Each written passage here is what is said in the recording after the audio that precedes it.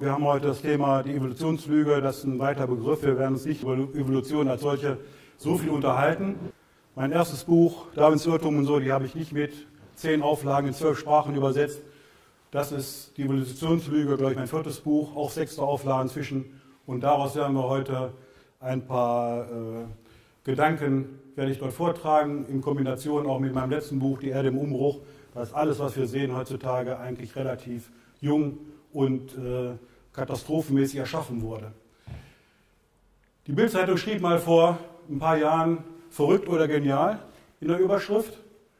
Oder Welt am Sonntag ein Ingenieur, ich bin Bauingenieur vom Beruf, schreibt die Weltgeschichte um. Bauingenieure sind natürlich immer weit, breit ausgebildet in allen Bereichen. Und in der Vergangenheit war es immer so, dass Bauingenieure oft sehr kritische Leute waren, aus diesen Gründen heraus. Wenn ich heute auch ein bisschen auf Geologie eingehe, ist es so, weil ich im Ingenieurstudium auch ein bisschen Geologie studieren musste, äh, vom Bauwesen her, denn äh, Bauleute sind auch Bau, äh, Bodengutachter und so weiter und so fort. Daher kommt vielleicht auch mein Interesse. Fangen wir aber mit der Biologie, mit der Evolution ganz einfach mal an. Ich ärgere mich, oder habe mich geärgert, dass meine Tochter vor einigen Jahren Abitur machte und das Gesetz von Hecke immer noch bei uns in Deutschland ähm, vorgetragen wird, also Prüfstoff ist. Wenn das hier stimmt, dann äh, könnte ich über Evolution nichts mehr sagen, weil das sagt alles aus. Der Mensch war früher also ein Schwein und was weiß ich, ein Salamander und so weiter und so fort. Die ganze Entwicklungsgeschichte soll praktisch als Embryo durchgemacht werden. Wenn das so ist, äh, brauche ich hier nicht weiter zu reden, aber das ist nicht so. Heckel hat sich vor, schon damals, Heckel hat das erfunden, hat sich schon damals vor dem akademischen Senat äh, äh, entschuldigen müssen oder, oder ähm, rechtfertigen müssen, weil er seine Zeichnung gefälscht hat. Das ist amtlich. Kommt man in Amerika, wird diese Sache überhaupt gar nicht mehr irgendwo erwähnt. Nur in Deutschland, es war ein deutscher Forscher, wird das noch, äh, wird das noch vorgetragen. Das, was man so irgendwo sieht als Merkmale eines Menschen, wurde inzwischen ganz anders gedeutet. Ich war als Reiseleiter auf den Galapagos, als Contreras-Reiseleiter, da war eine Biologin dabei und ich sage zu der Biologin, das ist ja Evolution, kann es so in dieser Art ja gar nicht gegeben haben. Waren wir in Galapagos auf dem Museum und dort ist dieses Bild quasi der Fink, der sogenannte Darwin-Fink, gilt im Internet in den Fachpublikationen als Beweis für Evolution. Ich war dort vor Ort, genau auf der Insel, wo es diesen Finken gibt. Dieser große Fink hat einen großen Schnabel und war der Überlebende auf einer bestimmten Insel, weil alle Vögel ausgestorben waren. Und der Große mit dem großen Schnabel hier konnte nur noch die letzten harten Körner picken und überlebte deshalb. Und dann hat Darwin daraus geschlossen, dass sich die Tiere im fortentwickeln. Das ist Unsinn. Denn dieser Darwin-Fink, den man überall findet, ist derselbe Fink wie die anderen Finken und kann sich untereinander fortpflanzen. Pflanzt sich etwas untereinander fort, gehört es zur selben Art. Es ist keine Fortentwicklung, sondern Mikroevolution. Wir lernen in der Schule männliche Gesetze. Männliche Gesetze kannte Darwin damals noch gar nicht. Mit den männlichen Gesetzen wird heute gezüchtet. Hunderassen, äh, klein und groß, äh, mit langen Ohren, langes Fell, sind alles dieselben Hunde, fortpflanzungsfähig untereinander. Genauso wie der Mensch. Alle dieselbe Art. Geht es über die Art hinaus, also in die Gattung hinein, also Esel mit Pferd, die können sich kreuzen. Aber die, die Nachkommen davon sind unfruchtbar. Auf Galapagos gibt es Meerechsen und Landleguane, da können sich, die können sich auch kreuzen, gehören nicht zur selben Art. Die Nachkommen davon sind unfruchtbar. Es gibt keine Nachkommen.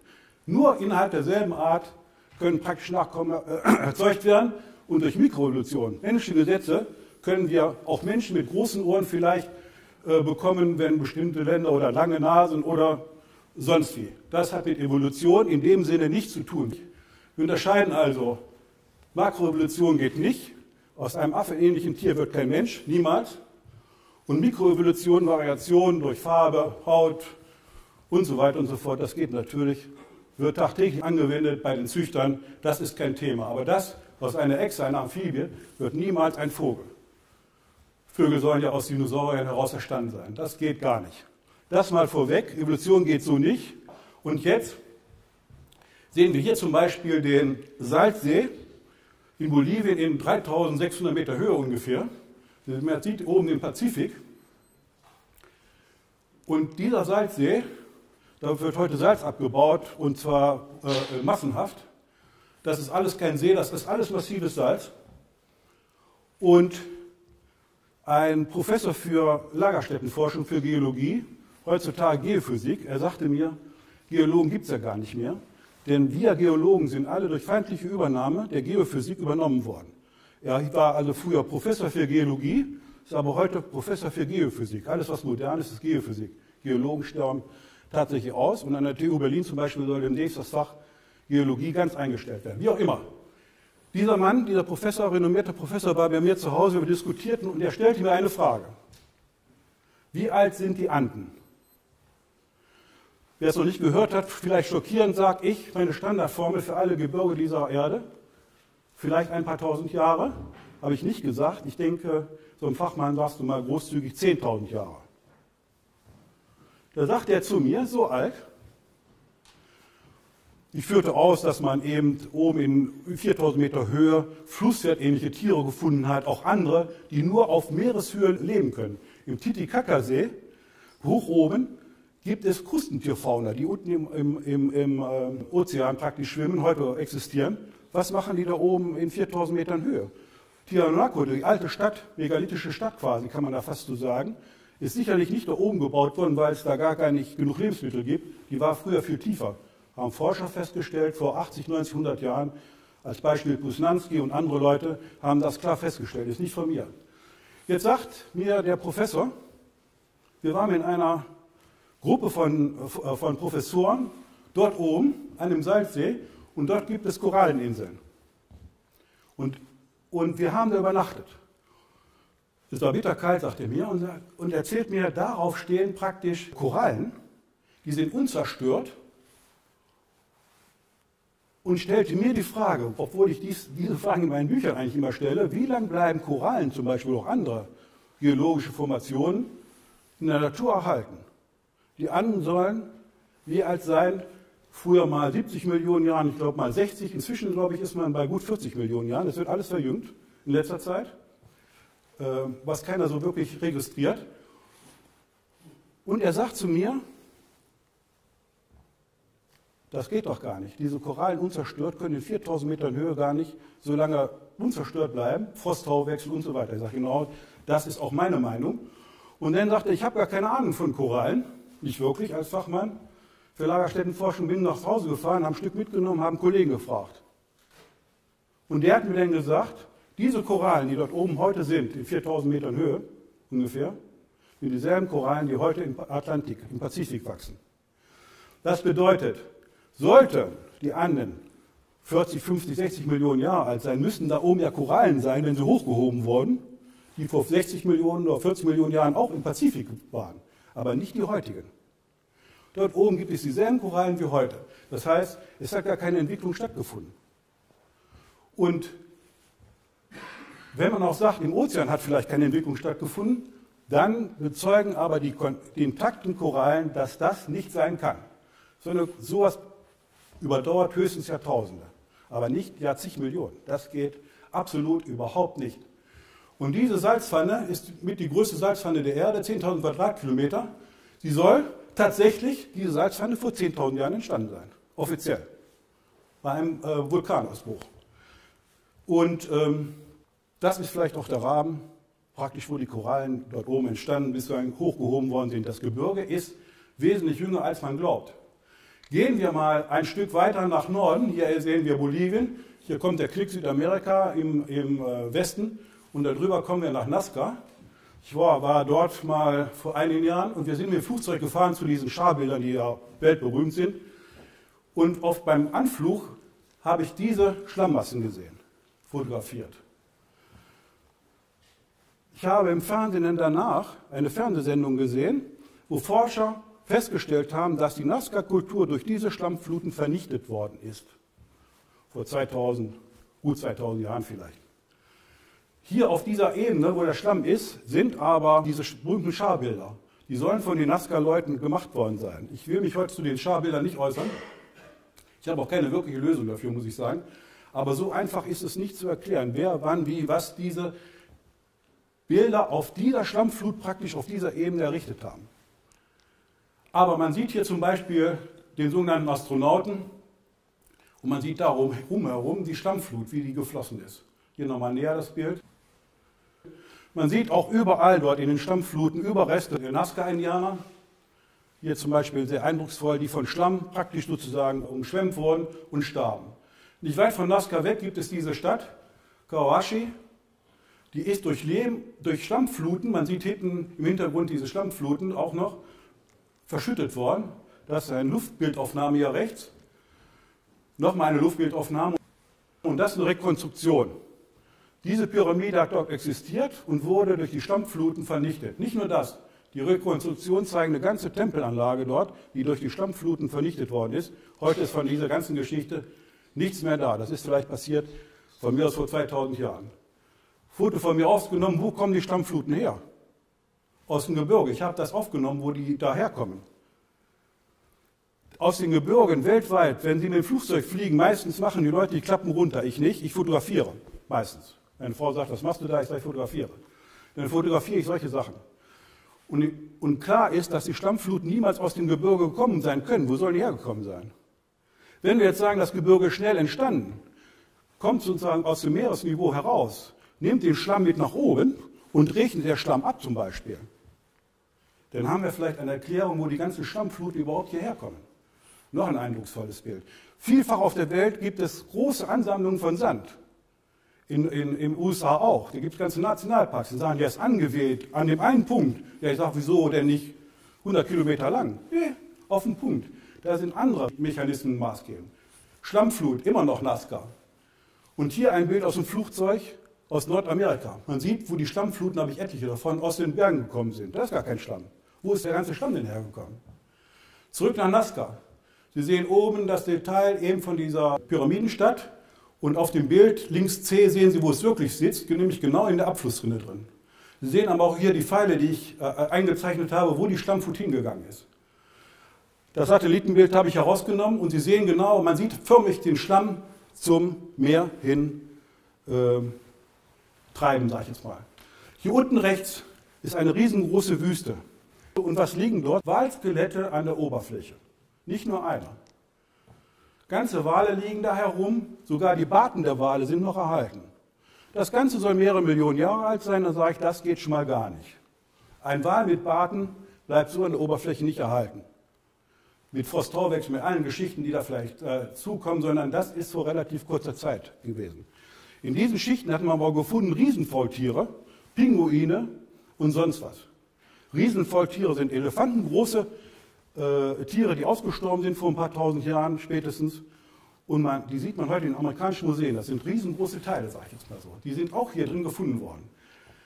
Wenn man also eine Schlammflut hat, dann wird und die praktisch äh, herunterschwemmt, dann werden die darin, darin enthalten und mitgezogen mit fortgeschwemmten Tieren und Menschen hydrodynamisch verteilt. Das heißt, zuerst bleiben dann die größeren Brocken hängen, das können Sie ja selber ausprobieren, und die feineren werden immer weiter weggespült, sodass man eine Sortierung hat.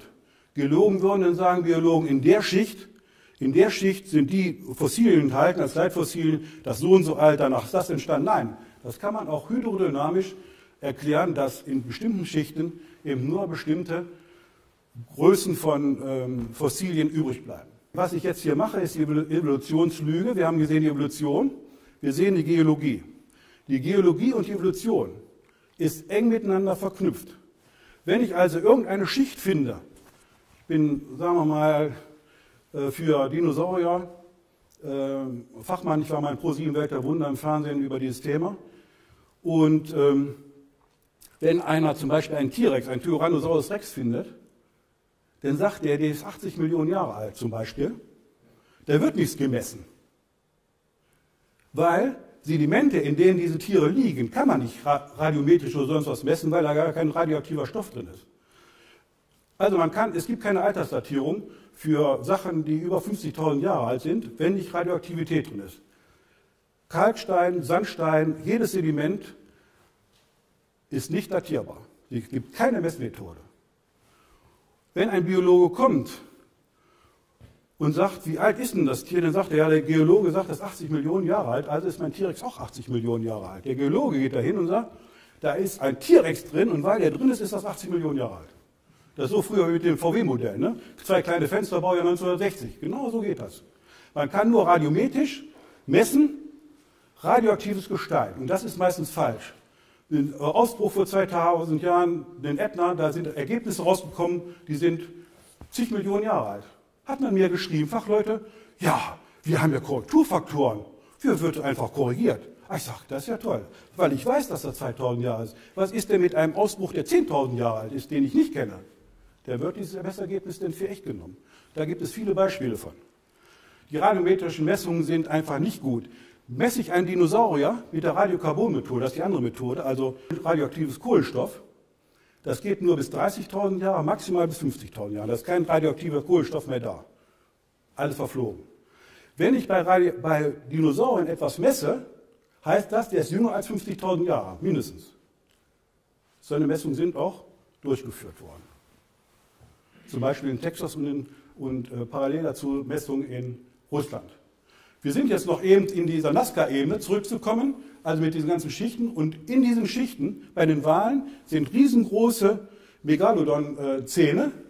Das heißt, dieses Tier hat zur selben Zeit da gelebt wie diese Wale und ist dort auch gestrandet. Allerdings sind diese Tiere seit drei Millionen Jahren ausgestorben. Und so lange können diese anderen Wale nicht darum gelegen haben. Das muss äh, jünger gewesen sein. Das ist ein Megalodon-Gebiss. Sie sehen, wie groß das ist. Die wurden 30 Meter lang. So eine großen Tiere gibt es heute in den Meeren nicht mehr. Massengräber ist das Faszinierende auf dieser Erde. Ich bin ein Anhänger der Katastrophentheorie.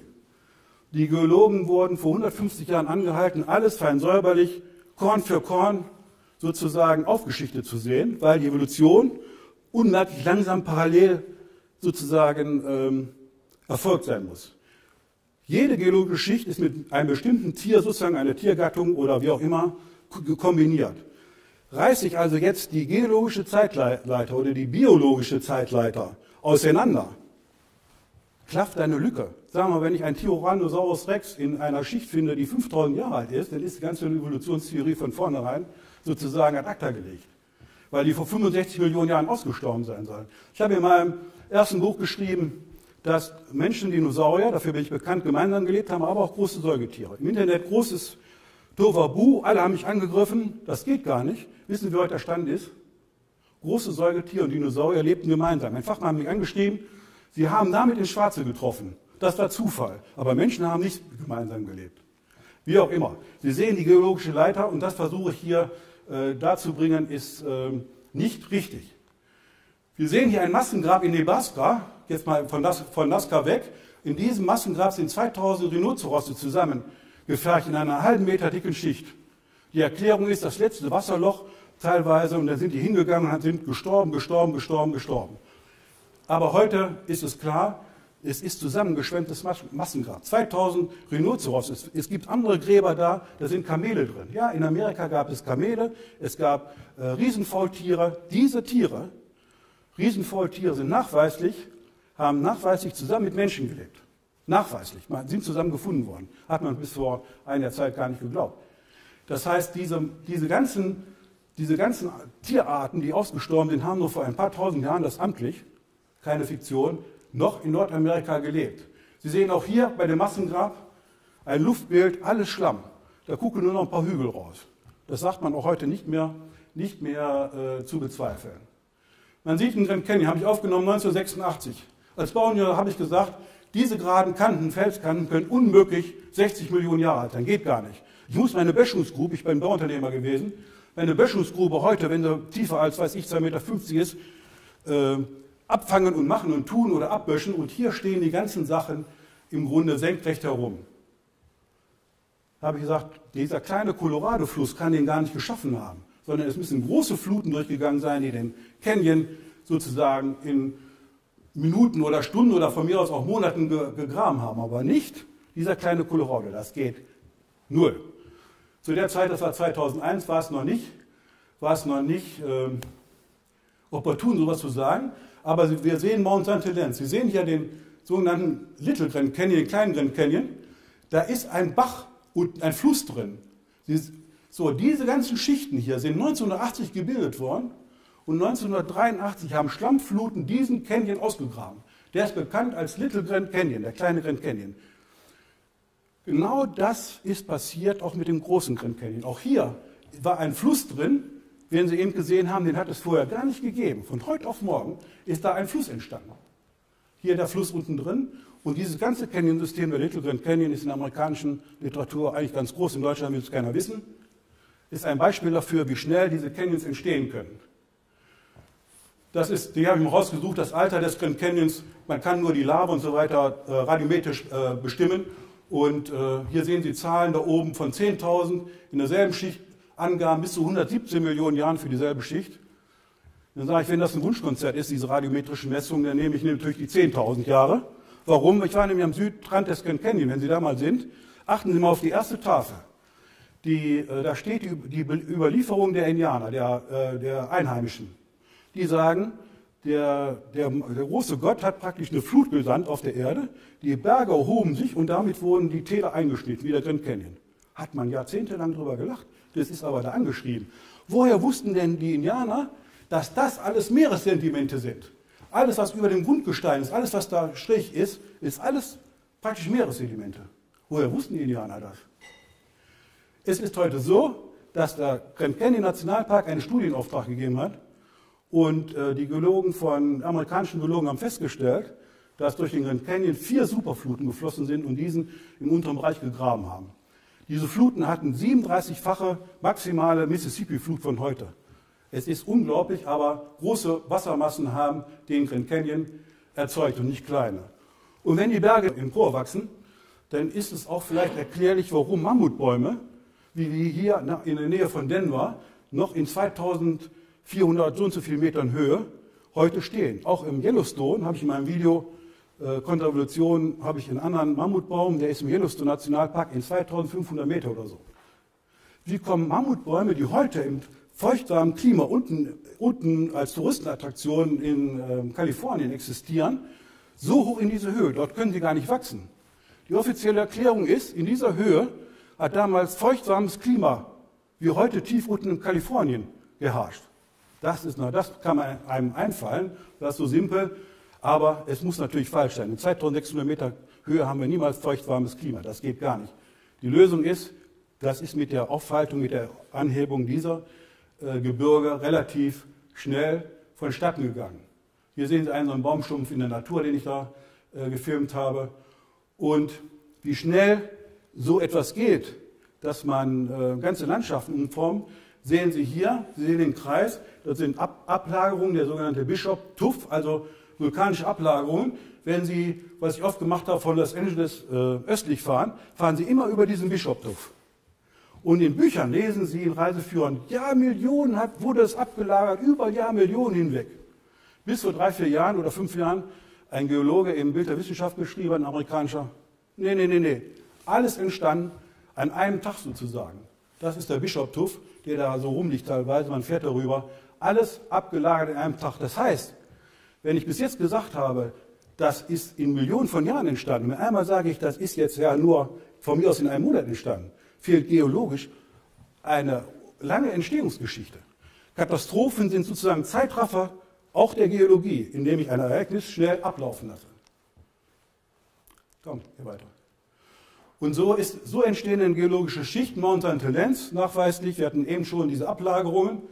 Und es ist denn so, dass geologische Schichten durch Katastrophen relativ dick entstehen. Also 1980 diese 8-Meter-Schicht, diese 8-Meter-Schicht 1980 und die darüber liegende Schicht auch an einem Tag und die ist unheimlich fein gebändert. Da würden Geologen sagen, jedes Jahr vielleicht eine Schicht, die ist uralt, aber entstanden in wenigen Schichten, 8 Meter dick, ganz fein gebändert. Und darüber ist noch eine Schicht, die ist 1982 denn entstanden. Drei Schichten zu unterschiedlichen Zeitpunkten, aber alles quasi Tagesereignisse. So sehen geologische Schichten auch in Wirklichkeit aus. Wir sehen hier zum Beispiel, was auch Vulkane, Vulkanausbrüche mit Schlammfluten erzeugen können. Sie sehen hier ähm, Basaltgestein. Das war vorher schon da vom Vulkanausbruch, wurde aber durch diese Schlammmassen gerundet. Das würde man in den Alpen als Beweis für die Tätigkeit eines Gletschers ansehen, zum Beispiel. Entstanden in langen Zeiträumen. Und dann, dieses Geröll hat auch der ganze Gletscher hinterlassen. Bloß dieser ganze Einschnitt hier, das Ganze war vorher gar nicht da. Entstanden 1980. In wenigen Stunden mit Stundengeschwindigkeiten von 100 Stundenkilometern. Wenn Sie da hingehen, ich war da, steht diese Erklärung da. Mit 65 Meilen pro Stunde steht da. 65 ist dieser Bach einschließlich, einschließlich dem Groll geschüttet worden. An einem Tag. Vorher war der Wald. Und wenn man jetzt in die Alpen geht, wir sind hier in den Alpen, dann glaubt man vielleicht, das ist alles uralt. Es kann aber, wie hier nachweislich geschehen, in wenigen Stunden vonstatten gehen. Oder Sie sehen hier, wie etwas so auch hangrutschmäßig passieren kann. Sie sehen hier 1993, da ist, ist eine Grube und die ist dann durch Wassermassen, äh, da ist eine äh, Aufnahme aus dem Internet, muss ich sagen, und da ist das Wasser dann eingebrochen, was ich eben sagte. Der ganze Hang geht, äh, Hangrutsch entsteht und dahinter ist das Wasser und fließt jetzt, überflutet den ganzen, die ganze Mine. Das ist so ähnlich wie, sage ich jetzt mal eben, sagte eben mit dem Grand Canyon. Heutzutage ist der Begriff Superfluten in der Geologie kein Tabu mehr. Als ich noch vor zehn Jahren darüber geschrieben habe, hat man gesagt, Supervulkane und Superfluten gibt es gar nicht. Gibt es aber in der Natur schon. Zum Beispiel der Toba-Vulkan ist inzwischen heute klar, vor 75.000 Jahren war ein so Massenauswurf, dass laut wissenschaftlichen Erkenntnissen die Temperatur in den folgenden fünf Jahren weltweit um 18 Grad gesunken war und nach zehn Jahren noch um sogar um 10 Grad. Das heißt, Vulkanausbrüche erniedrigen die Temperatur unglaublich. Und dann äh, ist auch klar, dass Menschen das kaum überleben. Es ist die Diskussion, ob diesen Ausbruch vor 75.000 Jahren die Menschen überhaupt überlebt haben können. Wir gehen in den Mittleren Westen. Wir haben gerade den Wassereinbruch gesehen. Das soll jetzt mal die Erklärung sein, weil ich habe dieses Foto aufgenommen äh, in Utah, in, äh, südlich von Salt Lake City, und man sieht die erodierten Seen. Sehr schön. Ich habe dir Pfeile dran gemacht. Der Lake Bohnenwil ist bekannt, äh, meistens bei uns kennt ihn keiner. Das sind urzeitliche Seen, heute Wüstengebiet. Am Rande des Sees hat man Mammuts und so weiter in den Uferböschungen gefunden. Unter anderem auch andere Tiere, die teilweise ausgestorben sind. Und Sie sehen hier zwei große Seen und links unten den Grand Canyon. Diese Seen, den anderen See, der ist noch oben bei Salt Lake City links, der ist nicht eingezeichnet. Diese Seen, diese, diese ganzen äh, Uferlinie, die es da noch gibt, die Sie sehr schön sehen, wenn Sie mal hinfahren. Wir haben hunderte von Leuten geschrieben, seitdem wir mal da waren, sehen wir die ganze Wüste mit anderen Augen an. Das ist auch so, weil man sieht nur Wasser. Geistig, überall Wasserstandslinien. Das ist schon vor 30 Jahren oder wann vermessen worden, die gleichen Linien die in der Höhenlage und man hat gesehen, dass das Seen gebildet äh, waren. Die haben, na, nennt man in Amerika Hope Lake und Canyon Sands Lake. Das ist ein roter Punkt, da kommen wir gleich noch zu. Und diese Seen haben sich in den Grand Canyon entwässern können und bildeten dann die Superfluten. Aus heutzutage, aus dem Satellitenbild sieht man hier die helleren Färbungen. Man sieht sehr schön, wo das Wasser noch vor kurzer Zeit gestanden hat. Das ist ein ganzes Video, das will ich jetzt nicht abspielen, aber man sieht hier den Canyon Lake, äh, Lens Lake und den Hopi Lake und der verlandete langsam und hat sein Wasser praktisch in die, äh, Sie sehen das hier, in den äh, äh, in den Grand Canyon abgeleitet. Heute, wenn Sie da hinfahren, reine, pure Wüste. Vor kurzer Zeit Wasser.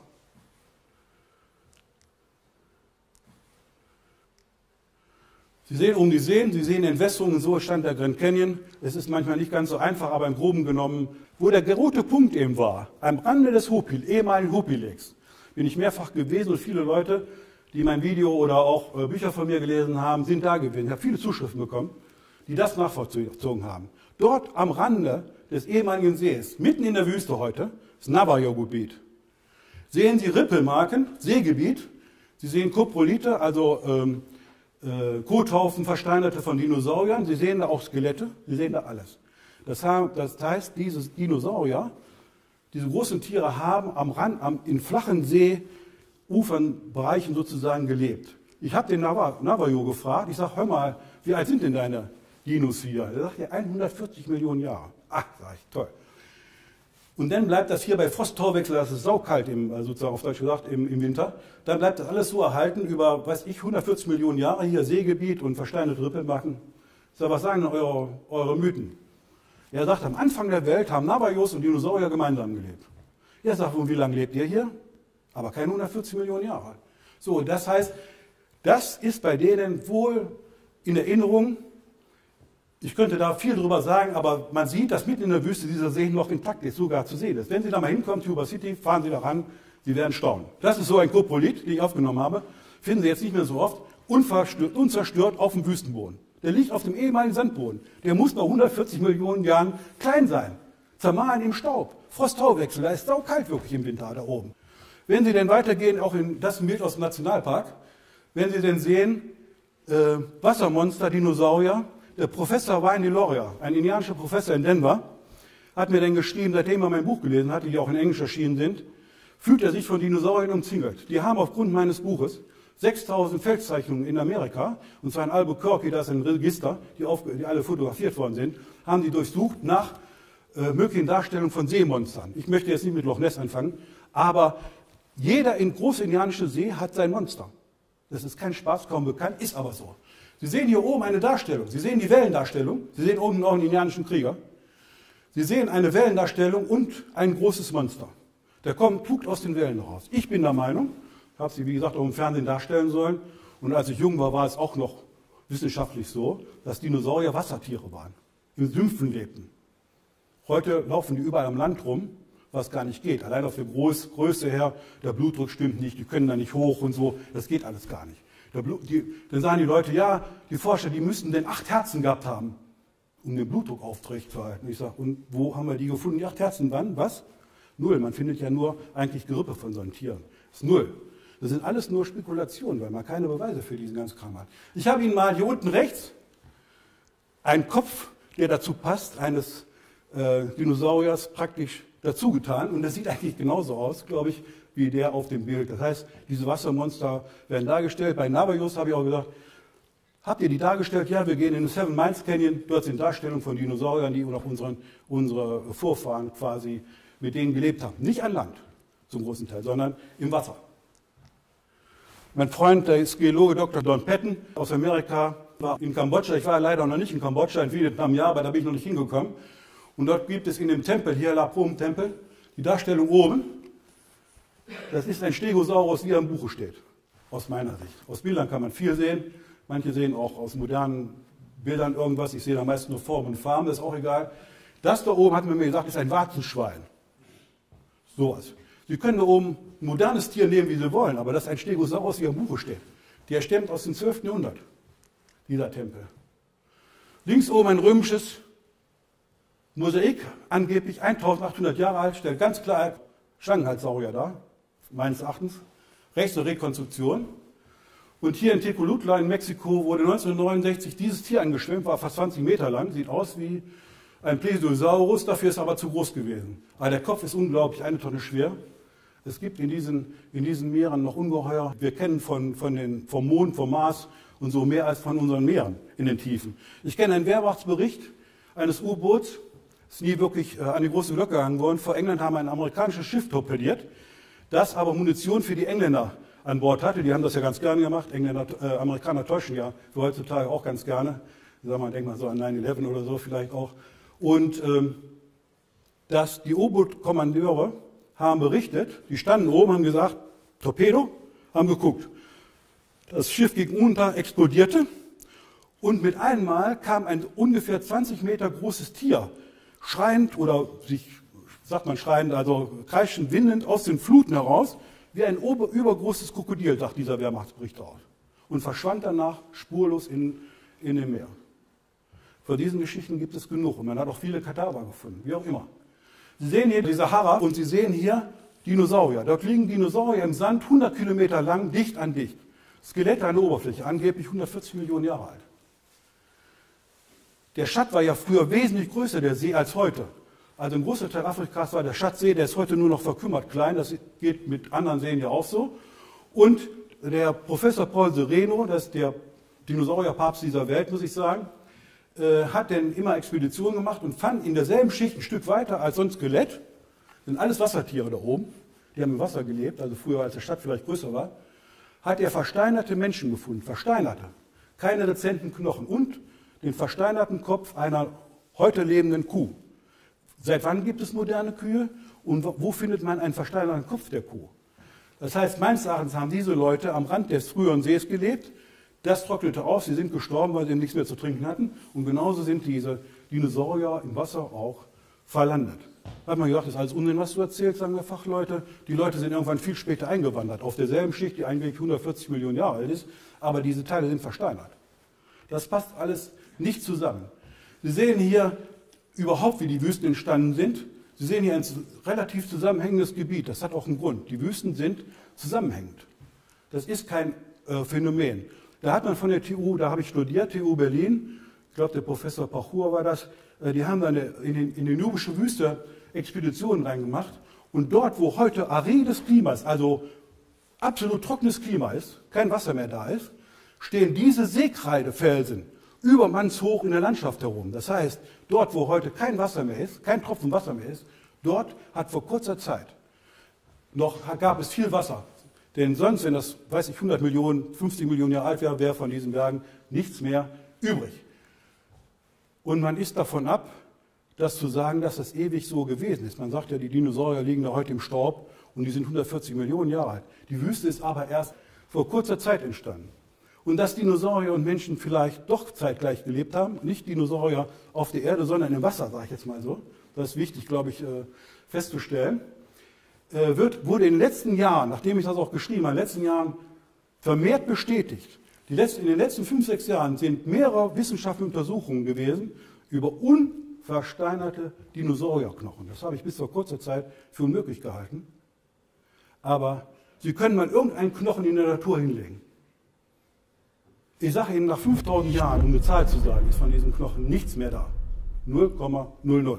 Wenn ich unversteinerte Knochen finde, wissenschaftlich und inzwischen verifiziert, in zehn Fällen, glaube ich, so in, in dem Dreh, können Sie bei mir nachlesen, dann heißt das, diese Dinosaurier haben vor ein paar tausend Jahren gelebt und ich rede nicht über 1000 oder 2000 Jahre.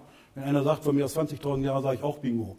Aber im Grunde genommen nicht vor zig Millionen Jahren. Man hat sogar einen Tyrannosaurus Rex gefunden, mit Blutgefäßen, hat diese Blutgefäße Wissenschaftler in eine dünne Säure gelegt und sie waren mit einmal dehnbar. Wie können das, kann das 65 Millionen Jahre überdauern? Das geht gar nicht. Die Wissenschaftler waren perplex, haben sie selber geschrieben. Es geht gar nicht. Es wurde sogar Erbsubstanz äh, extrahiert, das geht eigentlich auch nicht. Also wenn Sie irgendwie irgendwas liegen lassen, Fleisch oder irgendwas sowas auf der Theke oder Eier oder was, das verdirbt nach 14 Tagen, spätestens wenn nicht nach Tagen. Aber es bleibt nicht Millionen von Jahren übrig. Das geht alles ganz und gar nicht. Kommen wir zurück auf die Entstehung der, äh, der Anden. Dasselbe könnte ich von dem Himalaya erzählen. Der Himalaya, da sind Schichten verifiziert worden vor 60, 70 Jahren. Die sind 40 Grad Stein gestellt. Schichten, die erst maximal 10.000 Jahre alt sind. Die Forscher haben damals festgestellt, dass das Himalaya vor wenigen tausend Jahren um 1500 Meter angestiegen sein muss. Die Schichten, die jünger als 10.000 Jahre sind, wurden um 40 Grad schiefgestellt und in diesen Schichten hat man menschliche Relikte gefunden. Wir Wissenschaftler untersuchen das ist kein Mythos oder so. Bloß es wird heute keiner mehr wissen wollen. Weil es sind ja alles äh, Forscher, die sind vor 60, 70 Jahren das gemacht haben. Das waren auch Feldforscher. Unsere Geologen heute sind ausgebildet an der TU, wissen alles, behaupten auch, sie wissen alles. Und wenn die mal drei Wochen irgendwo Geld kriegen, um irgendwo mal hinzufahren und vor Ort was, irgendwas anzugucken, dann ist das schon viel. Ich weiß, wovon ich rede. Hier in den Alpen sieht man, es gibt eine Feldforschung von 1928, ist inzwischen aus den Bibliotheken entfernt, hat es lange gegeben, man hat mich darauf aufmerksam gemacht von Lesern, interessierten Lesern. Diese alten Seen hier, die schraffiert sind, die haben noch zur Zeit der Kelten äh, praktisch existiert. Und Sie sehen oben das grau angelegte, der Ammersee, das ist der heutige. Der frühere Ammersee zur Zeit der Kelten war wesentlich größer. Man hat festgestellt, dass dieser größere Ammersee ausgelaufen ist und nicht nur der Ammersee, sondern alle anderen Seen auch hier am, äh, am Rande der Alpen.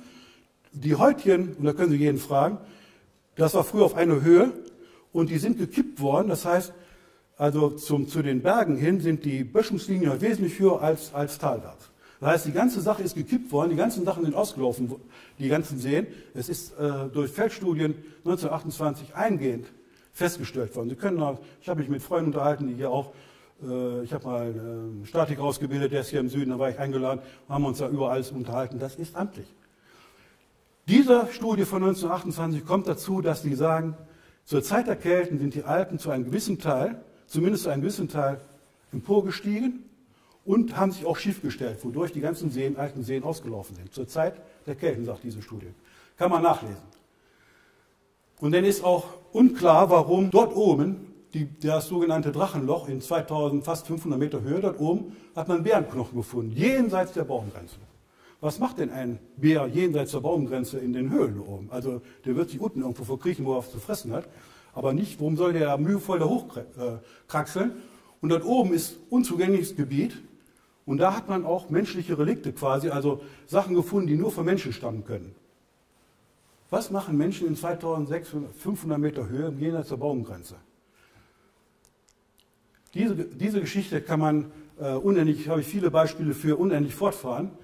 So, und dann sehen wir in den Alpen immer, wir kommen jetzt äh, zu der Geologie weiterhin, in den Alpen sehen wir, dass alles, was wir eben gesagt haben, die Seen, alles ist das Walten der Eiszeit. Die Eiszeit hat alles gemacht. Als ich jung war, waren die noch anderthalb Millionen Jahre alt, dann war es zweieinhalb Millionen, ich glaube, jetzt sagt man schon drei, über drei Millionen.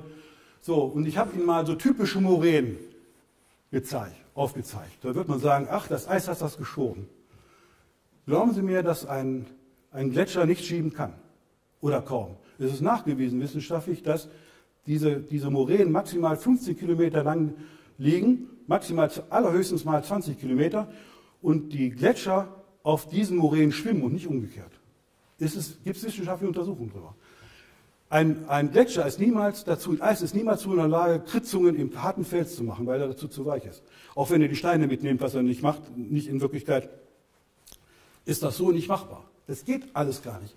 Diese Moränen. Achso, und dann äh, sagt man, in der Nordsee wären äh, äh, Eisgletscher gewesen, die wären mehrere Kilometer hoch, weil auch das Land abgesunken ist. Schweden wächst ja heute noch, und zwar nicht unerheblich jeden Tag.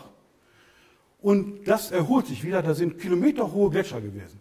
Das ist alles Unsinn, sage ich jetzt mal so. Als Bauingenieur sage ich, wenn wir ein Haus bauen, dann gibt es, oder ein Bauwerk, dann gibt es eine Setzungsmulde. Das heißt, der Gletscher würde in sich zusammen praktisch sacken, aber niemals vor, vor sich, sich fortbewegen.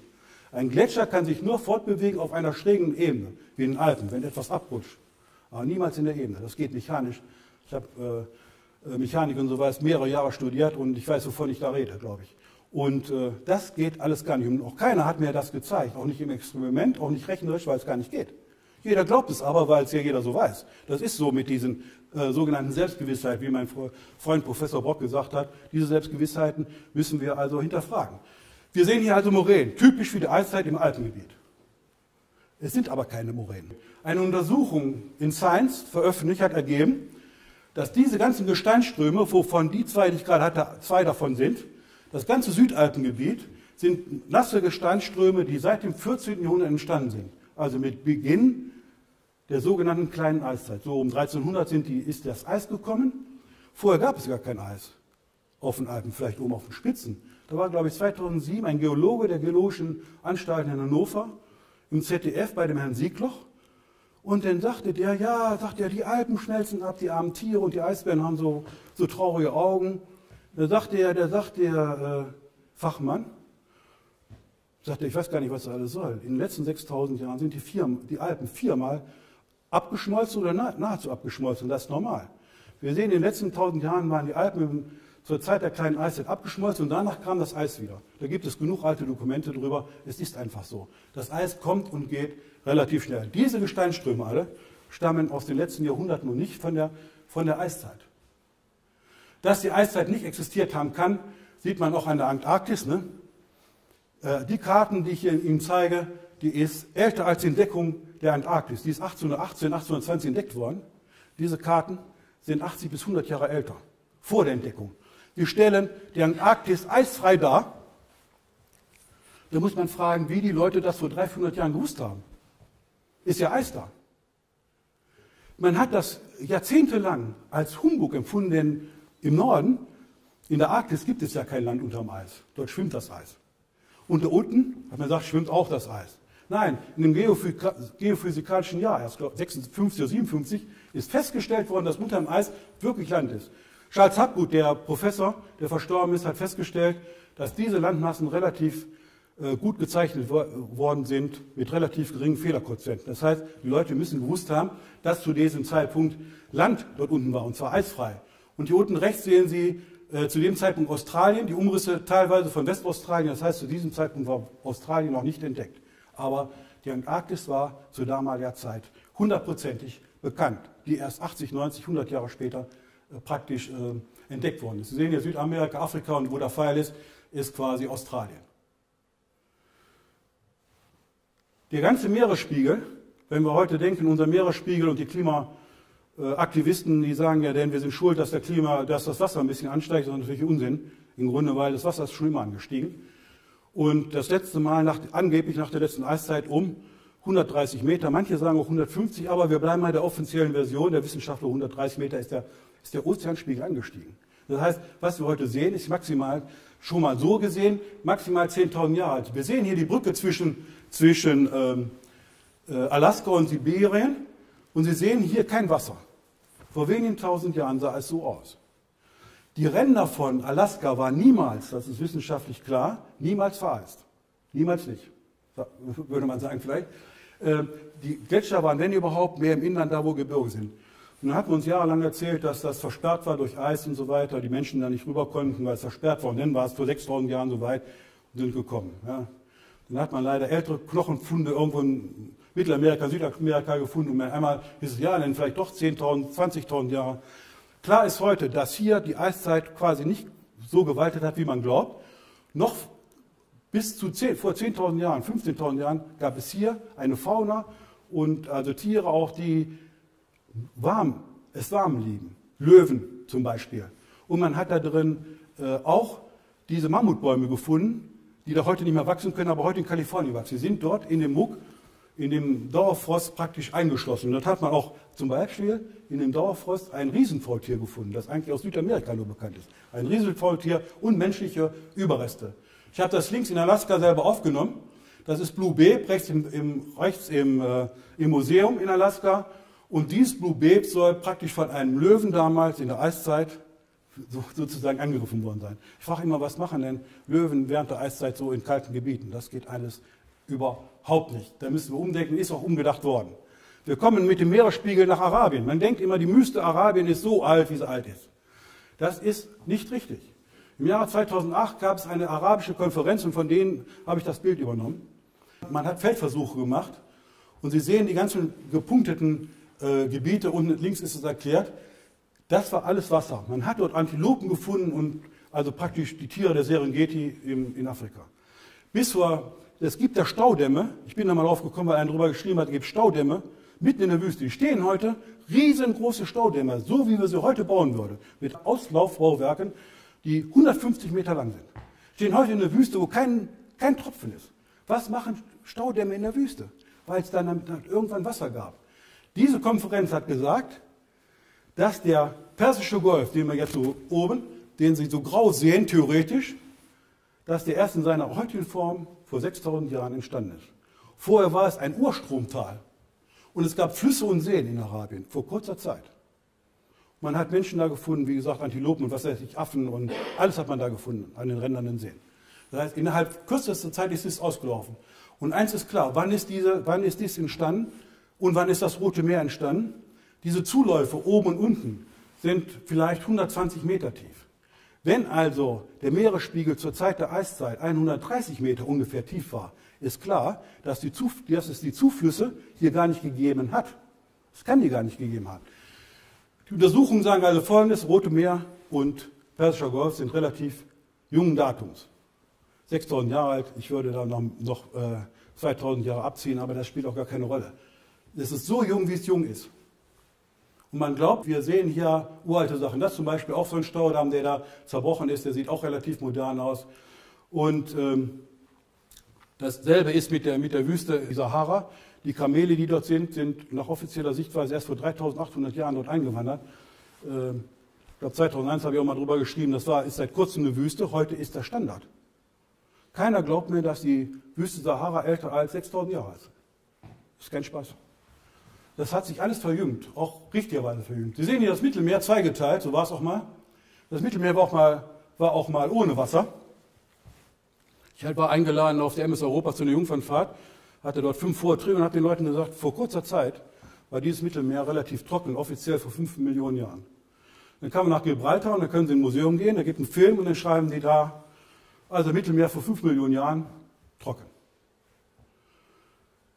Die Leute, die das untersucht haben, Pittman und Rhein, das sind Geologen, die haben mit einem Forschungsschiff überall Bohrkerne genommen, haben das praktisch genau untersucht. Und dann einer von beiden hat gesagt oder geschrieben, eigentlich müsste man nach einem Grund suchen, der vor kurzer Zeit dazu geführt hat, dass das Mittelmeer leer war. Aber da das sozusagen unserem Verständnis, unserem Wissen widerspricht, äh, wollen wir diesen Gedanken nicht weiterführen. Es ist aber so, dass hier große Trockenheit herrschte rund ums Mittelmeer. Ich könnte das ausführen aufgrund der alten Bauten.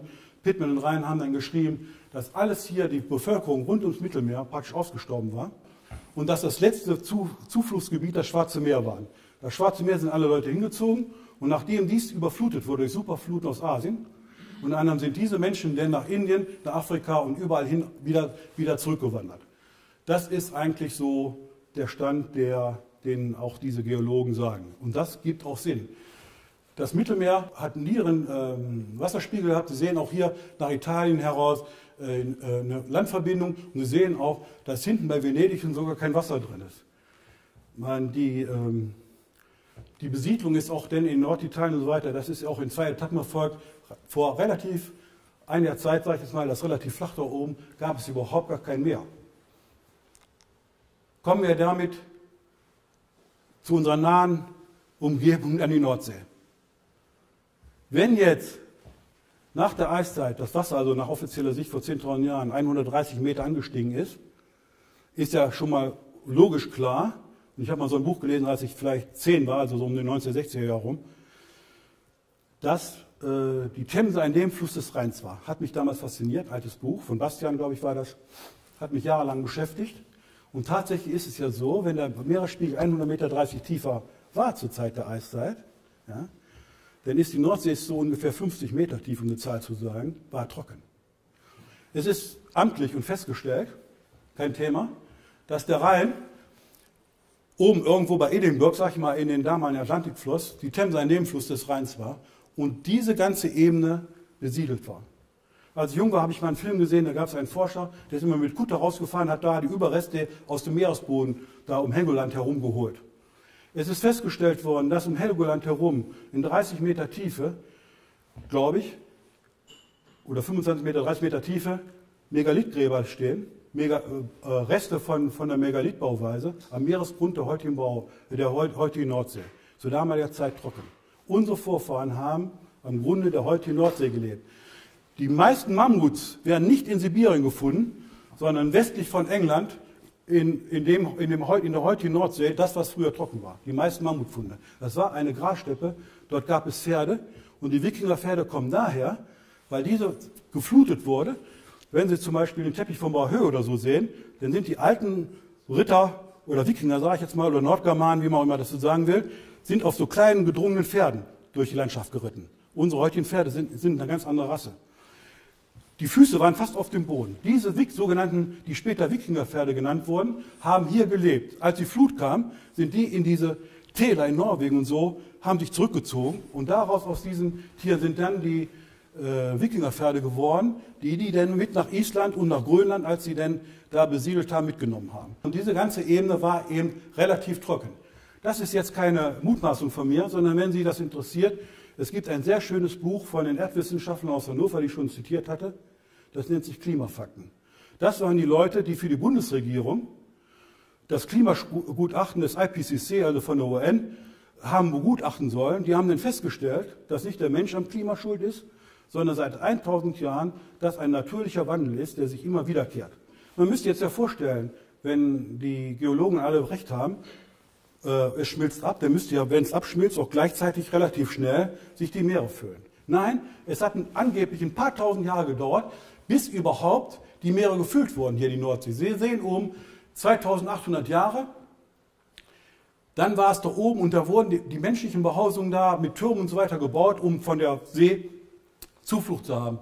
Vor 2250 Jahren hat man immer weiter höher gebaut, bis denn vor 2000 Jahren, 1600 Jahren, also 400 nach Christus von mir aus, Hügel, also Warften gebaut worden, um dort, dort die Häuser drauf zu bauen, damit sie nicht überflutet werden. Das Meer kam langsam und stetig. Das Meer kam so gewaltig, dass die ganzen Seen, die wir heute, äh, Inseln, die wir heute haben, also vielleicht 400 Jahre alt sind, werden überhaupt, auch Sylt.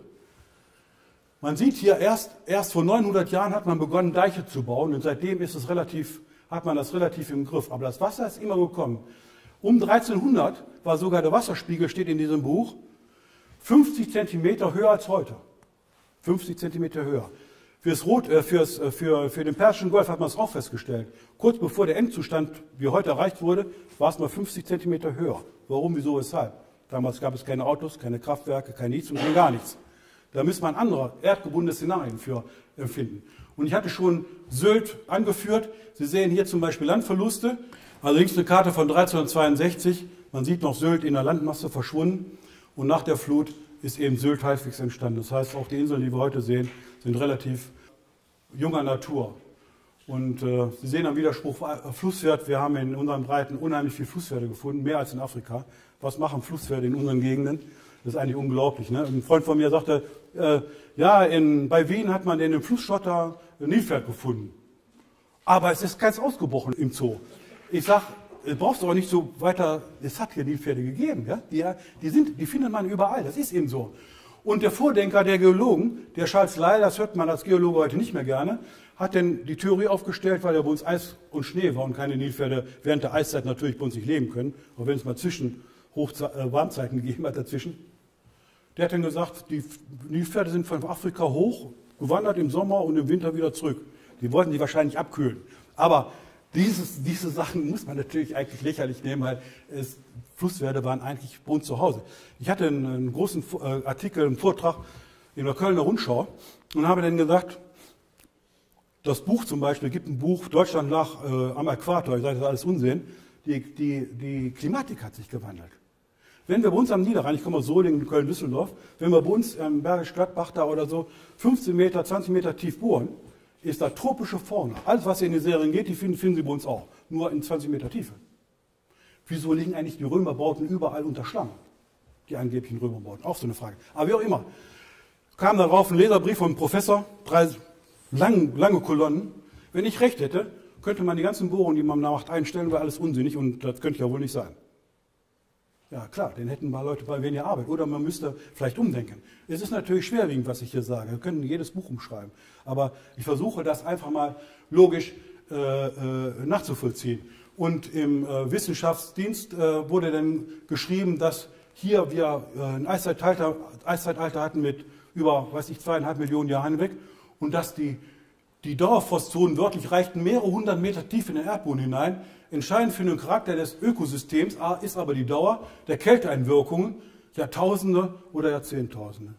Ich sage jetzt mal so, die sogenannten Eiszeittiere haben sich also in stoischer Ruhe, haben sie geschrieben, auch in stoischer Ruhe, da habe ich davor geschrieben, Temperaturen weit unter dem Gefrierpunkt, ertrugen diese Tiere mit stoischer, ich habe es angekreuzt, Gelassenheit.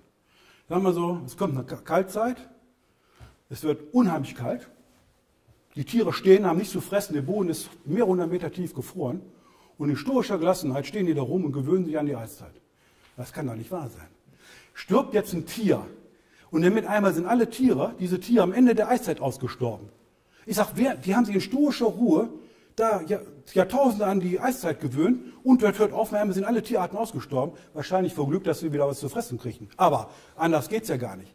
Ich behaupte, wenn es kalt wird, sterben die Tiere aus. Nicht, nicht wenn es warm wird. Meine Frau, wenn die geht ohne, bei kalt ist ohne dicken Fellmantel gar nicht aus dem Haus, sag ich mal im Prinzip, übertrieben gesagt, oder äh, andere Leute auch. So, wir ziehen uns warm an und wir würden erfrieren, wenn unsere Heizungen nicht laufen. Und die Tiere sterben aus. Wann sterben die Tiere aus? Mit Beginn der, der Kaltzeit. Eine Kaltzeit hat es gegeben. Und nicht mit dem Ende der Kaltzeit. Ich bin ja ein Verfechter gegen die Eiszeit, sondern ich habe das Wort äh, Schneezeit geprägt.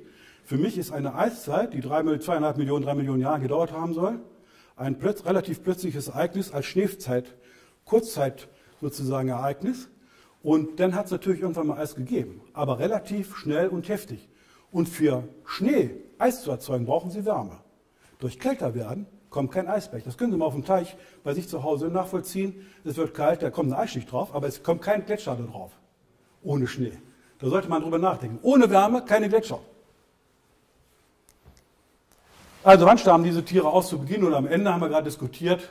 Natürlich äh, äh, am Anfang. Und äh, in einem eiszeitlichen Grab hat man zur Überraschung der Leute in Deutschland einen Jaguar gefunden. Jaguar, diese Tiere gibt es nur in tropischen Sachen, Mittelamerika und vielleicht Südamerika. Und zum ersten Mal außerhalb von Amerika ist dieser Jaguar gefunden worden in einem eiszeitlichen Grab.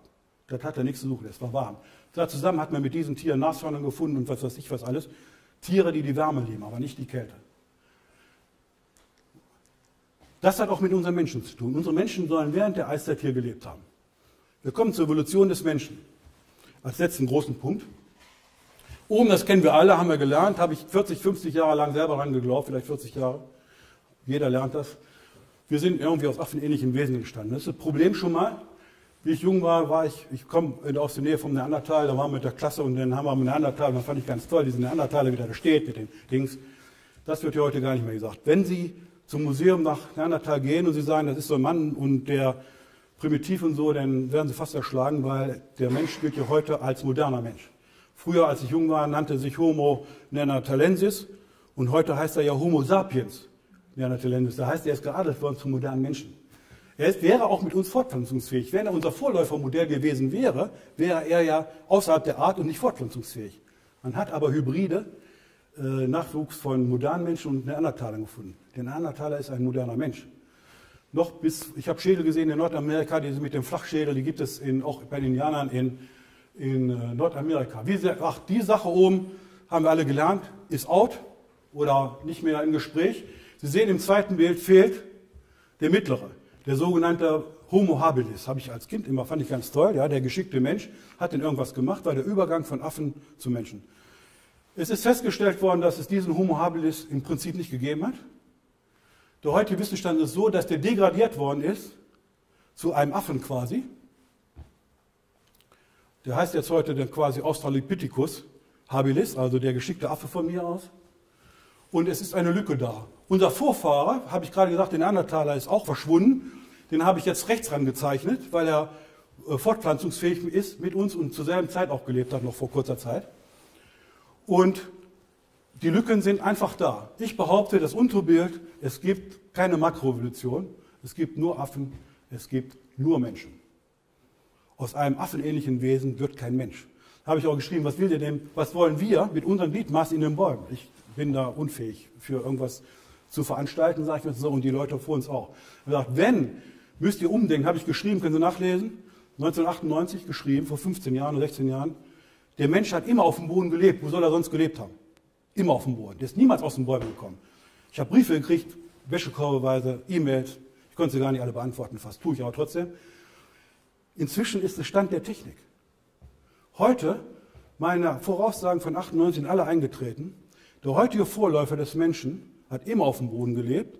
Und heute ist es so, dass man sagt, in der Wissenschaft, unser Vorläufer war vor acht Millionen Jahren Daraus sind die affenähnlichen, affenähnlichen Tiere oder Affen entstanden nachher, die in Bäumen lebten und der Mensch hat sich auf dem Boden weiterentwickelt. Das ist heute, das würde ich mal sagen, das akzeptiere ich. habe ja auch 98 geschrieben, ich würde nicht sagen 8 Millionen Jahre, dann das verkürzen, aber grundsätzlich stimme ich jetzt damit überein. Auch Anthropologen, wie der äh, Professor Niemitz, ein Buch geschrieben, Der aufrechte Gang des Menschen, die haben das alle bestätigt. Es ist heute so, wie ich das 98 geschrieben habe.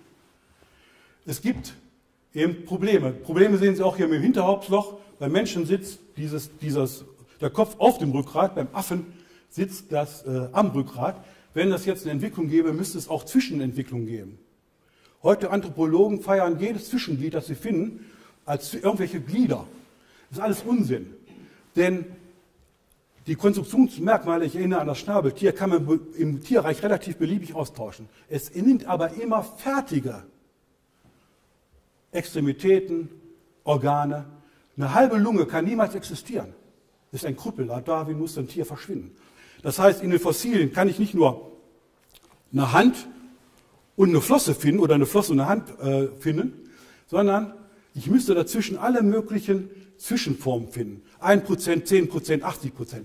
Nichts davon, ich habe viele, viele äh, Museen dieser Welt besucht, wir werden es niemals finden, gibt es auch nicht. Wenn Darwin recht hätte, müsste das so sein. Es gibt keine Makroevolution. Und Darwin selber hat auf seinem Sterbebett daran gezweifelt und gesagt, irgendwann in Zukunft wird man seine Theorie beweisen. Es ist ausgeblieben. Die sogenannten Missing Links, die man hat, sind immer fertige Tiere. Das ist das Problem. Eine halbe Lunge, eine halbe Flosse ist niemals lebensfähig. Das geht alles gar nicht. So, hier auch von, äh, von der FU Berlin, äh, Menschen, die von den Bäumen gestiegen und ich hatte schon den, den Herrn Niemitz, den äh, finde ich gut, was er da geschrieben hat, auch äh, gesagt, das Geheimnis des aufrechten Ganges, die Menschen waren eben niemals auf dem Boden. Das ist auch richtig. Man hat schon früher festgestellt, dass das Mitteltier, also zwischen Affen und Mensch, niemals lebensfähig wäre, haben amerikanische Forscher, Forscher festgestellt. und auch der sogenannte Australopithecus, der aufrecht gelaufen sein soll, gleicht vom, vom Schädel her genau einem heutigen Schimpansen. Das ist Fakt. Das sind Affen, sage ich jetzt mal, und keine Vorläufer, irgendwelche Urvorläufer des Menschen. Das ist Lucy, unser berühmter Vorfahr, den Sie überall finden und überall genannt wird. Bloß ich gucken Sie mal auf die Füße, der aufrecht gelaufen ist, da fehlen sogar die Füße. Mehr hat man von Lucy eigentlich gar nicht gefunden. Äh, mag sein, dass sie aufrecht gegangen sind. Es gibt auch äh, äh, andere Affenart, die aufrecht gegangen ist, wo wollen wir jetzt nicht, will ich jetzt nicht weiter ausführen. Äh, das ist möglich, aber das hat auch teilweise andere Gründe, aber sind nicht Vorläufer sozusagen des Menschen. Und Lucy oder beziehungsweise Kollegen von ihr, die haben dann diese Spur hinterlassen, wird groß gefeiert, weiß ich wie viele Millionen Jahre alt, muss in Untersuchungen gewesen. Ich habe ja das mal hier groß rausgenommen, den rechten Fuß. Das sind moderne Füße, die vor Millionen Jahren schon existiert haben sollen. Die müssen weiterentwickelt worden sein. Es gibt Untersuchungen in Amerika, die sagen, diese Fußspuren sind dieselben, die wir erzeugen würden heute. Es gibt da keine Entwicklung. Das heißt, es sind hier eigentlich äh, keine Entwicklungsschritte da, sondern diese Füße haben so schon immer existiert. Wann der Mensch entstanden ist, könnte ich lange darüber referieren.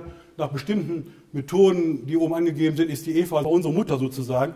143.000 Jahre, aber der Mann nur 59.000 Jahre. Na, ich meine, das geht ja alles gar nicht. Ne? Wenn Sie sehen, wenn Sie sehen äh, um sich fortzupflanzen, müsste ja ein, ein weibliches Teil und ein, ein männliches Teil zur selben Zeit am selben Ort da gewesen sein, um sich in eine andere Art zu entwickeln. Das geht ja zeitlich und räumlich überhaupt gar nicht. So geht das gar nicht. Ja, und die Mutationsrate, haben wir festgestellt im, im, Fachmagazin, ist, kann 20 mal weniger sein. Dann, wenn ich durch 20 teile, dann komme ich, dass meine, meine äh, Ureva vielleicht vor 7000 Jahren gelebt hat. Und in Nature, also hochwissenschaftlichem Blatt, Freunde von mir, Professoren und so, äh, die lesen nur Nature teilweise auch. Und da steht drin, unsere ganze, unsere ganze Bevölkerung könnte man in 33 Generationen erzeugen. Allerdings ist das von 2004, inzwischen haben wir wesentlich mehr Menschen. In 33 Generationen kann ich die gesamte Bevölkerung reproduzieren, ohne dass jetzt was Besonderes entstehen könnte, müsste, sollte. Berücksichtigt Migration und so weiter, steht in einem Aufsatz drin, ist unsere Menschheit rund 5000 Jahre alt.